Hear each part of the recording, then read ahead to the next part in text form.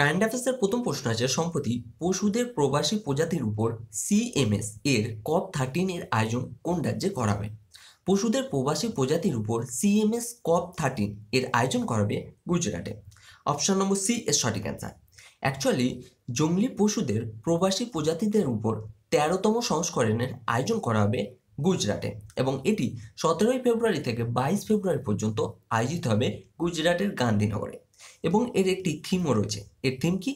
Migratory species connect the planet and together we welcome them home কি এর theme migratory species connect the planet and together we welcome them home এবার দেখ, এখানে এসে CMS এর full form কি?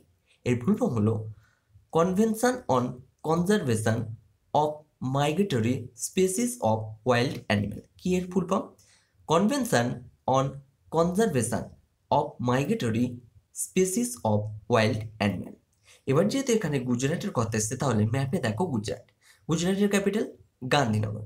গুজরাটের মুখ্যমন্ত্রী বিজয় রূপানী এবং গভর্নরকে আচার্য দেবব্রত, এখানকার গভর্নর।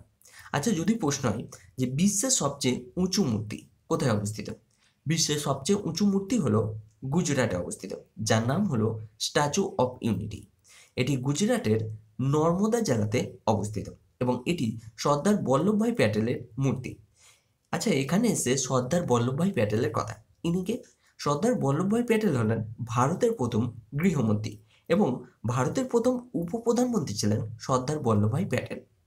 তো এই প্রশ্নটি দিয়ে আমরা এতটাই জানতে পারি। নেক্সট প্রশ্ন আছে, সম্প্রতি কোন শহরে ভারতের দ্বিতীয় সবচেয়ে বড় মেট্রো রেল নেটওয়ার্ক নির্মিত হয়েছে?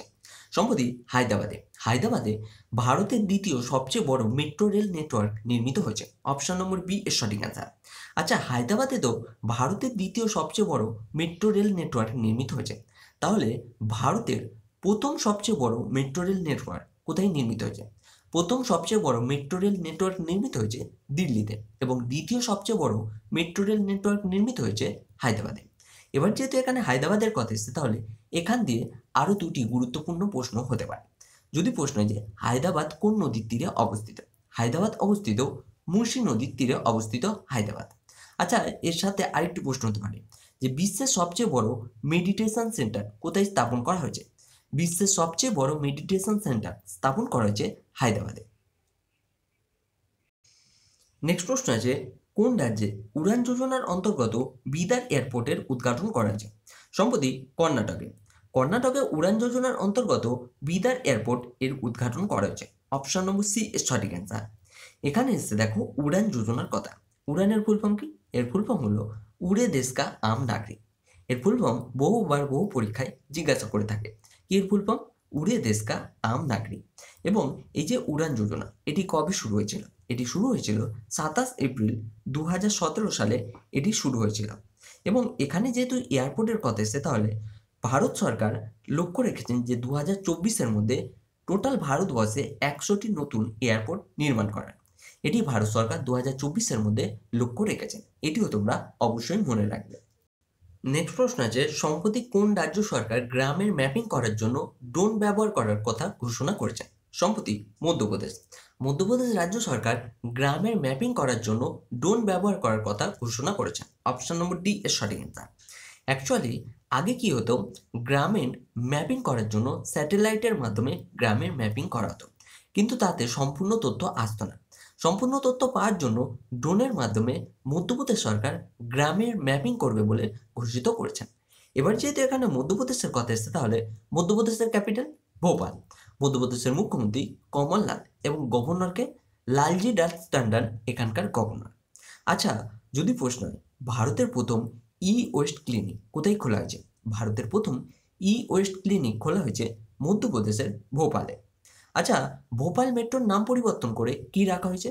ভোপাল মেট্রোর নাম পরিবর্তন করে রাখা হয়েছে ভোজ মেট্রো। আচ্ছা মধ্যপ্রদেশের ব্যান্ড অ্যাম্বাসাডারকে। মধ্যপ্রদেশের ব্যান্ড অ্যাম্বাসাডার হলেন গোবিন্দা।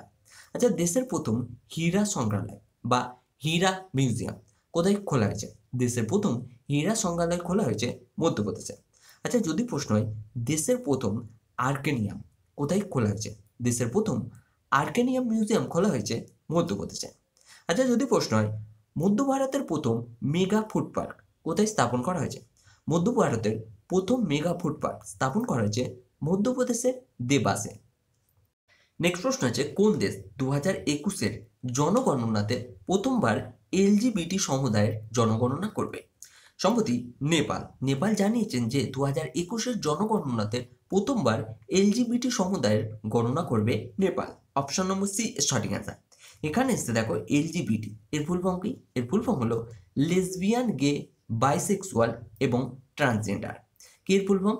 লেসবিয়ান, গে এবং বাইসেক্সুয়াল এবং ট্রান্সজেন্ডার অ্যাকচুয়ালি নেপাল দেখতে চাইছে যে তাদের দেশে কত শতাংশ টোটাল কত শতাংশ লেসবিয়ান, গে এবং বাইসেক্সুয়াল এবং ট্রান্সজেন্ডার রয়েছে। এবং সেই অনুপাতে নেপাল তাদের সরকারি চাকরির প্রতি সংরক্ষণ রাখবে। সেই জন্যই তারা প্রথমবার এলজিবিটি সমুদায়ের জনগণনা করবে দু হাজার একুশে। এবার যেহেতু এখানে নেপালের কথা এসে তাহলে নেপালের ক্যাপিটাল কাঠমান্ডু। নেপালের কারেন্সি নেপালি রুপিয়া। এবং প্রধানমন্ত্রীকে কেপি শর্মা ওলি এখানকার প্রধানমন্ত্রী এবং রাষ্ট্রপতি বিদ্যাদেবী ভান্ডারী। আচ্ছা যদি প্রশ্ন হয় সার্কের হেডকোয়ার্টার কোথায় অবস্থিত? সার্কের হেডকোয়ার্টার অবস্থিত কাঠমান্ডুতে। আচ্ছা নেপালে ভারতীয় রাজদূত কে রয়েছেন? নেপালে বর্তমান ভারতীয় রাজদূত রয়েছেন বিনয় মোহন কেয়াত্রা। কে? বিনয় মোহন কোয়াত্রা। আচ্ছা সম্প্রতি নেপাল সবচেয়ে উঁচুতে ফ্যাশন শো আয়োজিত করেছে এবং এই ফ্যাশন শো আয়োজিত করার জন্য নেপাল গ্রিনিস ওয়ার্ল্ড রেকর্ডে নামও তুলেছেন। আচ্ছা সম্প্রতি ডিসেম্বরে ভারত এবং নেপালের মধ্যে একটি যুদ্ধ অভ্যাস আয়োজিত হয়েছে। সেটির নাম কি? সেটির নাম হলো সূর্য কিরণ যুদ্ধ অভ্যাস, যেটি ডিসেম্বরে ভারত এবং নেপালের মধ্যে আয়োজিত হয়েছে। আচ্ছা নেপাল ভারতের কটি রাজ্যের সীমা টাচ করে? নেপাল ভারতের টোটাল পাঁচটি রাজ্যের সীমা টাচ করে। নেক্সট প্রশ্ন আছে, সম্প্রতি ইন্ডিয়ান ইন্টারন্যাশনাল লেদার ফেয়ার দু হাজার কুড়ি এর পঁয়ত্রিশতম সংস্করণ কোথায় শুরু হয়েছে? সম্প্রতি ইন্ডিয়ান ইন্টারন্যাশনাল লেদার ফেয়ার দু হাজার কুড়ি এর পঁয়ত্রিশতম সংস্করণ শুরু হয়েছে চেন্নাইতে। অপশন নম্বর এ এর সঠিক অ্যান্সার চেন্নাইতে ইন্ডিয়ান ইন্টারন্যাশনাল লেদার ফেয়ার দু হাজার কুড়ি এর পঁয়ত্রিশতম সংস্করণ শুরু হয়েছে। এখানে এসে দেখো লেদারের কথা। তাহলে একটি প্রশ্ন হতে পারে। যদি প্রশ্ন হয় যে লেদার রিসার্চ সেন্টার কোথায় অবস্থিত? ভারতের লেদার রিসার্চ সেন্টার অবস্থিত চেন্নাইতে। এবার যেহেতু চেন্নাইয়ের কথা এসে এবং চেন্নাই তামিলনাড়ুর ক্যাপিটাল তাহলে তামিলনাড়ুর মুখ্যমন্ত্রীকে, তামিলনাড়ুর মুখ্যমন্ত্রী ই কে পালানাস্বামী এবং গভর্নরকে বনবারিলাল পুরোহিত, এখানকার গভর্নর। এবং আরেকটি প্রশ্ন হয়ে থাকে যে মীনাক্ষী মন্দির কোথায় অবস্থিত? মীনাক্ষী মন্দির অবস্থিত তামিলনাড়ুতে। নেক্সট প্রশ্ন আছে, সম্প্রতি কোন দেশের প্রধানমন্ত্রী ভারত সফরে এসেছেন? সম্প্রতি শ্রীলঙ্কার প্রধানমন্ত্রী ভারত সফরে এসেছেন। অপশন নম্বর ডি সঠিক অ্যান্সার শ্রীলঙ্কার প্রধানমন্ত্রী মহেন্দ্র রাজাপক্ষ ভারত সফরে এসেছেন। এবার যেহেতু এখানে শ্রীলঙ্কার কথা এসেছে, তাহলে শ্রীলঙ্কার ক্যাপিটাল, শ্রীলঙ্কার দুটি ক্যাপিটাল কি কি? একটি হলো কমার্শিয়াল ক্যাপিটাল এবং একটি হলো অ্যাডমিনিস্ট্রেটিভ ক্যাপিটাল যদি প্রশ্ন হয় যে অ্যাডমিনিস্ট্রেটিভ ক্যাপিটাল কি? অ্যাডমিনিস্ট্রেটিভ ক্যাপিটাল হলো সেই জয়বর্ধনপুরে কোর্টে এবং কমার্শিয়াল ক্যাপিটাল হলো কলম্বো। শ্রীলঙ্কার প্রধানমন্ত্রী মহেন্দ্র রাজাপক্ষ এবং রাষ্ট্রপতি গোতাবায়া রাজাপক্ষ। আচ্ছা যদি প্রশ্ন হয় যে ম্যাচ ফিক্সিংকে অপরাধের শ্রেণীতে রাখা প্রথম এশিয়াই দেশ কোনটি? ম্যাচ ফিক্সিংকে অপরাধের শ্রেণীতে রাখা প্রথম এশিয়াই দেশ হলো শ্রীলঙ্কা। আচ্ছা যদি প্রশ্ন হয় যে সাউথ এশিয়ার সবচেয়ে উঁচু টাওয়ার কোথায় অবস্থিত? সাউথ এশিয়ার সবচেয়ে উঁচু টাওয়ার অবস্থিত শ্রীলঙ্কাতে এবং তার নাম কি? তার নাম হলো লোটাস টাওয়ার। কি নাম? Lotus tower. এবং ভারত এবং শ্রীলঙ্কার মধ্যে যে স্টেট রয়েছে, তাকে কি বলা হয়? তাকে বলা হয় পাক স্টেট। কি বলা হয়? পাক স্টেট। এবং যদি প্রশ্ন হয় যে শ্রীলঙ্কাতে ভারতীয় রাজদূত বা ভারতীয় হাই কমিশনার। কে নিযুক্ত হয়েছেন? শ্রীলঙ্কাতে ভারতীয় হাই কমিশনার নিযুক্ত হয়েছেন গোপাল বাগলে। কে? গোপাল বাগলে। নেক্সট প্রশ্ন আছে, সম্প্রতি কোন কোম্পানি বিশ্বের সবচেয়ে বড় ও ভারতের প্রথম এটিএম নেটওয়ার্ক নির্মাণের ঘোষণা করেছেন সম্প্রতি ফোনপে কোম্পানি। ফোনপে কোম্পানি বিশ্বের সবচেয়ে বড় ও ভারতের প্রথম এটিএম নেটওয়ার্ক নির্মাণের ঘোষণা করেছেন অপশন নম্বর বি সঠিক অ্যান্সার অ্যাকচুয়ালি এখন পর্যন্ত মানে এখন আপনি যদি এটিএমে টাকা তুলতে যান, তাহলে আপনাকে এটিএম কার্ড এবং সাথে পিন পাঞ্চ করতে হয়। তারপর টাকা বের হয়।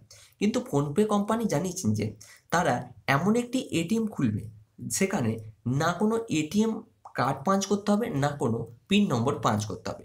সেই এটিএম দ্বারা আপনি ফোনপে অ্যাপসের মাধ্যমে টাকা তুলতে পারবেন। তো এমনই ঘোষণা করেছেন ফোনপে। এবং ফোনপে এও জানিয়েছেন যে দু হাজার কুড়ির মধ্যে ভারতে টোটাল কুড়ি লক্ষ এটিএম মেশিন বসাবে ফোনপে। এবার যেহেতু এখানে ফোনপের কথা এসে এটি কবে স্থাপিত হয়েছিল? এটি স্থাপিত হয়েছিল দু হাজার পনেরো সালে ফোনপে স্থাপিত হয়েছিল এবং এর হেডকোয়ার্টার বেঙ্গালুরুতে অবস্থিত। এবং এখান দিয়ে আরেকটি প্রশ্ন হয়ে থাকে যে ফোনপের ব্র্যান্ড অ্যাম্বাসাডার কে? ফোনপের ব্র্যান্ড অ্যাম্বাসাডার হলেন আমির খান। নেক্সট প্রশ্ন হচ্ছে, সম্প্রতি স্পাইস জেট এর নতুন সিসিও কে হয়েছেন? স্পাইস জেট এর নতুন সিসি হয়েছেন Shilpa Bhatia. Option number A এর সঠিক answer Shilpa Bhatia, SpiceJet এর নতুন সিসিও নিযুক্ত হয়েছেন। এখানে এসে দেখো সিসিও এর ফুল ফর্ম কি? এর ফুল ফর্ম হলো চিফ কমার্শিয়াল অফিসার কি এর full form chief commercial officer এবার দেখো এখানে তিনটি অপশন আছে। H K Joshi H K যোশীকে shipping corporation of ইন্ডিয়ার অধ্যক্ষ নিযুক্ত হয়েছেন H K Joshi S K Saini S K সাইনিয়া S K সাইনিয়া ইন্ডিয়ান আর্মির ভাইস চিফ নিযুক্ত হয়েছেন এস কে সাইনিয়া এবং প্রমোদ আগরওয়াল। প্রমোদ আগরওয়াল কোল ইন্ডিয়ার অধ্যক্ষ নিযুক্ত হয়েছেন প্রমোদ আগরওয়াল এবং সম্প্রতি স্পাইস জেটের নতুন সিসিও নিযুক্ত হয়েছেন শিল্পা ভাটিয়া। নেক্সট প্রশ্ন আছে, সম্প্রতি pension fund regulator and development authority এর ফুল টাইম মেম্বার কে হয়েছেন? Pension fund regulator and development authority এর ফুল টাইম মেম্বার নিযুক্ত হয়েছেন Pramod Singh Kumar. Option number D এর সঠিক answer Pramod Singh Kumar pension fund regulator and development অথরিটির full time member নিযুক্ত হয়েছেন। এবার দেখ, এখানে তিনটি অপশন আছে। অতনু কুমার দাস। অতনু কুমার দাসকে? সম্প্রতি ব্যাংক অফ ইন্ডিয়ার এমডি সিও নিযুক্ত হয়েছেন অতনু কুমার দাস। সঞ্জীব চড্ডা। সঞ্জীব চড্ডা ব্যাংক অফ বরোদার এমডি সিও নিযুক্ত হয়েছেন সঞ্জীব চড্ডা এবং লিঙ্গম ভেঙ্কাটা শ্রীনিবাস। লিঙ্গম ভেঙ্কাটা শ্রীনিবাস কানাডা ব্যাংকের সিও নিযুক্ত হয়েছেন লিঙ্গম ভেঙ্কাটা শ্রীনিবাস এবং সম্প্রতি pension fund regulatory and development অথরিটির ফুল টাইম মেম্বার নিযুক্ত হয়েছেন প্রমোদ সিং কুমার। সো তোমাদেরকে একটি কথা বলার ছিল যে, অনেকদিন আমি ভিডিও আপলোড করতে পারিনি, কিছু প্রবলেমের জন্য ভিডিও আপলোড করে উঠতে পারিনি। তো, এবার দিয়ে আগের মতো আবার তোমরা ভিডিও পাবে এবং জানুয়ারি যে সমস্ত ভিডিও পাওনি, সে ছাড়াও জানুয়ারি মাসের পুরো একটি ভিডিও আমি আপলোড করে দেবো। যে সমস্ত গুরুত্বপূর্ণ প্রশ্ন রয়েছে জানুয়ারি মাসের পুরো, সেই টপিক নিয়ে একটি ভিডিও আমি আপলোড করে দেবো এবং ফেব্রুয়ারির এক থেকে দশ তারিখ পর্যন্ত যে ভিডিওগুলি আমি আপলোড করিনি, সে নিয়েও একটি ভিডিও আমি তোমাদের আপলোড করে দেবো। এবার আমরা দেখে নেব কোশ্চেন অফ দি ডে কী প্রশ্ন আছে। কোশ্চেন অফ দি ডে প্রশ্ন আছে সম্প্রতি এন এম এম এল এর অধ্যক্ষ কাকে নিযুক্ত করা হয়েছে। যেটি সঠিক অ্যান্সার হবে সেটি তোমরা কমেন্ট বক্সে জানাবে। এবং ভিডিওটি ভালো লাগলে লাইক করো এবং কমেন্ট করে অবশ্যই জানিও যে ভিডিওটি কেমন লেগেছে এবং ভালো লাগলে অবশ্যই শেয়ার করো। এবং তোমরা যদি আমাদের চ্যানেলে নতুন হয়ে থাকো, নিচে দেখো লাল মতো সাবস্ক্রাইব বটন আছে সাবস্ক্রাইব করে নিও এবং লেটেস্ট ভিডিওর আপডেট পাওয়ার জন্য পাশে থাকা বেল আইকনটিতে অবশ্যই ক্লিক করে দিও।